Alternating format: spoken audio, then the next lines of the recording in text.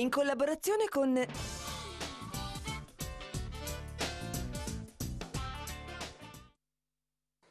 Bene, torniamo insieme in collaborazione con Q Consulenze Finanziarie. L'ultima rubrica di questa puntata saluto il titolare Massimo Guerrieri, buongiorno, buongiorno benvenuto. Stefania. Buongiorno a Paolo Giovanardi, ufficio studi per Q Consulenze Finanziarie. Allora, come sempre noi diamo uno sguardo alla eh, realtà delle cose e ovviamente parliamo anche di fatti accaduti e di preoccupazioni che alla fine, Guerrieri, mi viene da dire, erano infondate. Allora, sulle elezioni di Trump eh, si pensava alla fine del mondo, dal punto di vista della reazione dei mercati, invece anzi, le cose sono andate direi abbastanza bene in termini di investimenti. Poi anche il referendum spaventava molto e invece diciamo che non c'è stato nessuno scossone, ma eh, cosa è accaduto? Sì, è sempre bene fare un, un, eh, un, discorso legato alla, alla realtà.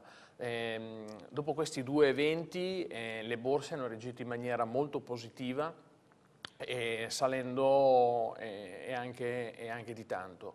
Eh, ovviamente eh, questo ci deve fare riflettere perché come abbiamo detto più volte la situazione economica eh, in Europa sicuramente, eh, l'Italia è un caso a parte ma poi semmai spendiamo due parole, ma anche in America con il, il calo dei profitti delle aziende USA non è che sia ehm, insomma, proprio così eh, dinamica come le borse ci fanno pensare. Eh, quindi eh, dobbiamo dire a chi ci ascolta a casa ecco, di eh, non farsi ingannare perché vediamo proprio come questi movimenti bruschi a fronte di incertezze, parlavamo di Trump piuttosto che del, del, del referendum nostro italiano, eh, non sono altro che segnali eh, diciamo, di instabilità, ovvero quando le cose eh, dovrebbero dare eh, mm, dei segnali appunto eh, non positivi sì. per l'incertezza che si va a creare, in realtà invece succede esattamente il contrario, beh eh, bisogna stare a maggior cioè, ragione non sono buone notizie. con le antenne no, dritte. bisogna stare attenti. Eh, io mi rendo conto che diciamo un po' il contrario sì. di quello che si legge sui giornali, o meglio sul mainstream, perché poi se si va a parlare con gli analisti, noi tutte le settimane siamo a contatto con degli analisti premi Nobel piuttosto che eh, professori della Bocconi, come già avevo accennato, eh, i problemi ci sono, è chiaro che il mercato è governato da movimenti speculativi e di conseguenza questi movimenti speculativi tendono no, a eh, voler, diciamo detto in, in, in, in, molto semplice, tenere sulle carte, ovvero sì. un mercato che eh, continua a salire fa comodo a tutti. Il discorso è che alla fine poi ci si dovrà scontrare prima o poi con dei dati reali e questo è un po' quello che ehm, noi il messaggio un po' che vogliamo anche dare a chi ci ascolta a casa, ecco, di eh, non cadere spesso e volentieri in specchietti per la lodole, perché io capisco che chi a casa ha fame di rendimenti e eh, cavalcare mercati che salgono sempre eh, e spesso e volentieri distaccandosi da, eh, vedo, no, eh, distaccandosi dall'economia eh, eh, reale, quindi che sono gli utili, eh, che sono poi no, i, i, profitti che le aziende fanno, che sono in calo, le difficoltà legate ai debiti sempre più in aumento, non solo degli stati ma anche delle aziende. Insomma, eh, so, sono cose che ci devono far pensare e quindi io invito sempre chi è a casa a essere prudente e anche andare a eh, consolidare degli utili laddove ci sono per non farsi, no? anzi perché spesso e volentieri la tentazione è quella di mettere altri soldi no? in, in, asset rischiosi appunto perché l'essere umano è così, è un po' goloso, se vede di più dice vabbè allora mi ricordo l'anno scorso che si parlava è finito, no? si parlava di siamo fuori dal tunnel novembre-dicembre dell'anno scorso, poi dopo a gennaio, febbraio, marzo, aprile eh, eh certo. abbiamo avuto 3-4 mesi che sembrava che finisse il mondo. Ecco quindi molta molta attenzione a non mm. farsi diciamo... Come sempre la prudenza eh, deve regnare farsi... sovrana. Ecco, lo stesso fenomeno possiamo dire che sta capitando anche in alcune situazioni che riguardano imprese private. Per esempio le banche, MPS, Unicredit, certo, certo le notizie eh, sono abbastanza preoccupanti, eppure in borsa hanno avuto dei rialzi. Perché Giovanardi? Sì, anche qua è un po' la stessa faccia della, della medaglia di cui si parlava prima. Se torniamo indietro di un po' di tempo, prima Massimo accennava quando si parlava l'anno scorso che sembrava che tutto andasse per il meglio, la stessa cosa succedeva con le banche. Noi l'anno scorso mettevamo un po' in guardia dal panorama delle banche, facevamo un po' a volte anche uccelli del malaugurio, nel senso che dicevamo i dati come sono in realtà. Se noi guardiamo lo scenario delle banche si è andato un po' avverando quello che anticipavamo, cioè un, un deterioramento della situazione bancaria in generale. Eh, non scordiamoci che nei mesi scorsi con le due banche venete, quindi senza citare le, le quattro banche famose che sono eh, andate in difficoltà, ma eh, se guardiamo ad esempio eh, Veneto Banca e la Popolare di Vicenza, ha interessato oltre 200.000 risparmiatori che hanno perso i loro risparmi ed è stato lo scandalo finanziario in Italia più grande della storia, quindi ha superato anche ampiamente le dimensioni di Parmalat. Questo è passato un po' sotto traccia, ma la dice lunga su come è messo il panorama delle banche italiane. Venendo ai giorni nostri, se guardiamo ad esempio Montepaschi, è un po' il caso eh, sotto, sotto, la lente, eh, basta pensare che Montepaschi ha chiesto all'Europa di poter avere una proroga, cioè eh, poter avere come limite il 20 gennaio 2017 per poter eh, cercare soldi dai risparmiatori cioè avere mm, dei mm, nuovi capitali per uh -huh. diciamo così, ricapitalizzare la banca. Eh, proprio notizia di, di, stamattina ufficiale che l'Europa ha negato questa proroga e quindi Montepaschi dovrà cercare questi capitali freschi dai risparmiatori ovviamente perché è lì che si va a cercare eh, per poter andare avanti. Probabile, a oggi sembra probabile che farà un'altra settimana in cui cercherà ulteriormente di rastrellare capitali ai risparmiatori, che poi sono gente comune, perché gli istituzionali hanno già fatto questo, questo versamento dei capitali. Avrà un'altra settimana, dopodiché se non riuscirà a trovare i miliardi di euro che mancano, probabilmente dovrà essere lo Stato che in via provvisoria interverrà nel capitale della banca e questo dice, la dice lunga su qual è la situazione.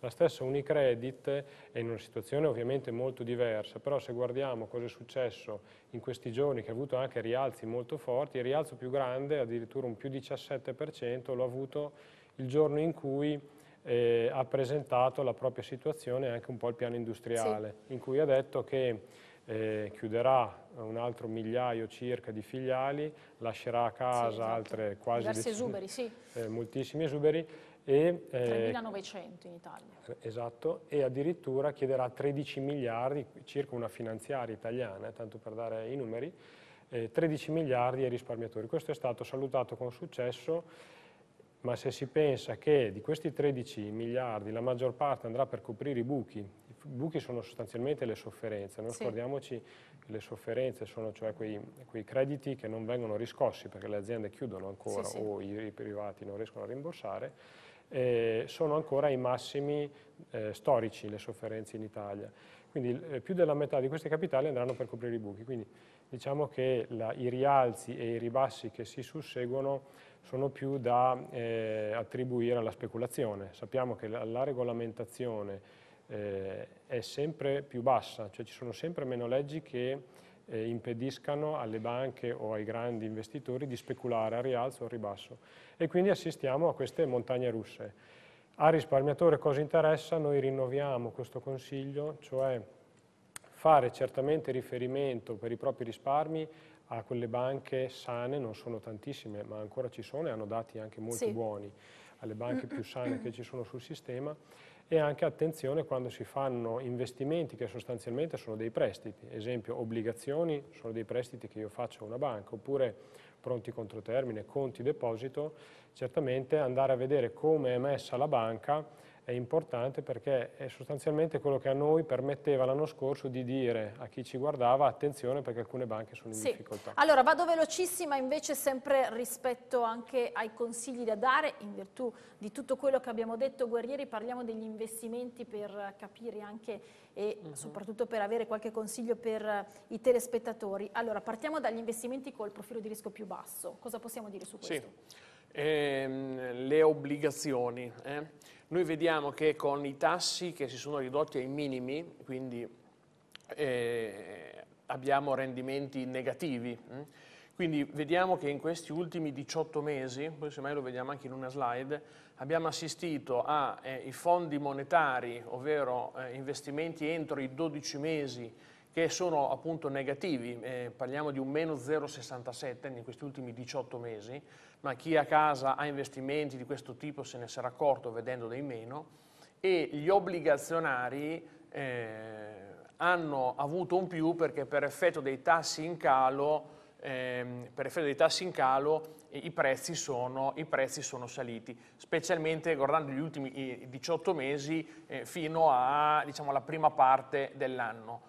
Eh, ormai anche in questa fase noi eh, reputiamo che eh, specialmente eh, poi con eh, un'inversione di rotta dei tassi eh, in questi giorni, anzi ieri per la precisione la Federal Reserve ha aumentato ulteriormente uno 0,25 i tassi in America, in Europa sono previsti ancora bassi ma sicuramente eh, un'inversione di tendenza è in atto, quindi le obbligazioni noi le vediamo oggi non più eh, rendimenti privi di rischi, ma li vediamo come rischi privi di rendimento, cioè quel po' che, che potevano dare l'hanno già dato 18 mesi fa, oggi si sta andando a, a, come rendita, ma se vediamo appunto eh, gli, i rendimenti dell'ultimo periodo sono rendimenti eh, negativi. Oggi per avere un più bisogna andare a scadenze molto lunghe, quindi prendersi dei rischi alti, perché ricordo che più la scadenza del titolo è lunga e più il rischio eh, aumenta, non solo di rimborso ma anche nel breve, perché il prezzo ha oscillazioni maggiori.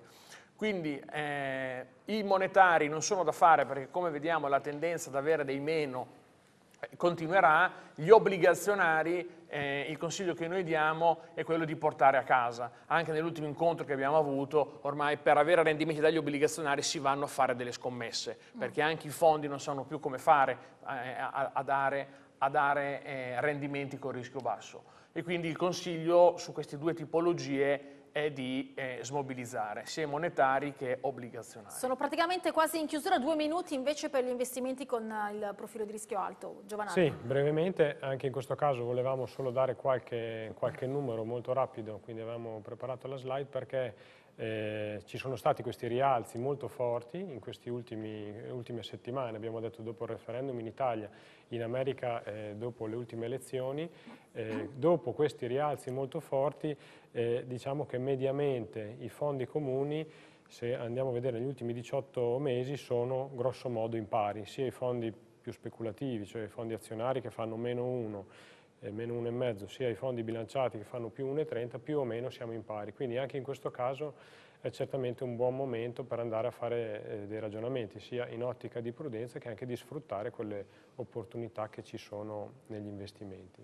Quindi mi pare per chiudere anche questo spazio guerrieri eh, una riflessione anche da parte dei risparmiatori ci deve assolutamente essere, nonostante notizie che magari sono appunto difficilmente interpretabili da chi non ha le capacità e le conoscenze. Esatto, vediamo proprio come la volatilità sta prendendo il sopravvento, cioè a fronte di notizie negative i mercati salgono e a volte scendono senza sapere il perché. Abbiamo appena visto che negli ultimi 18 mesi, quindi non mh, ieri l'altro, eh, i rendimenti, cioè chi ha fatto investimenti in fondi sia monetari che azionari, oggi si ritrova se va bene con gli stessi soldi. Eh, e di conseguenza perché tenere rischio, visto che ormai il rischio è sia sulle obbligazioni che sulle azioni, eh, a fronte di un, di un, aumento di volatilità senza avere rendimento, anzi io posso anche dire perché lo vediamo che chi ha investito in fondi non negli ultimi 18 mesi ma negli ultimi 12 mesi oggi sta perdendo, allora uno dice signori noi un po' che ve lo, ve lo diciamo, iniziate a guardarci perché veramente andare a investire soldi per perdere, perché piuttosto eh, come dicevamo, uno li tiene su un conto deposito, eh, no? anche se prende poco, però va a privilegiare un discorso di sicurezza appunto fatto con banche sicure. Bene, ci fermiamo qui, grazie a Massimo Goriere, grazie a Paolo Giovanardi, grazie, grazie a Co-Consulenze Finanziarie. Buona giornata, ci rivediamo nelle prossime settimane, sì. con voi invece ci eh, rivediamo domani. Ho il tempo per dirvi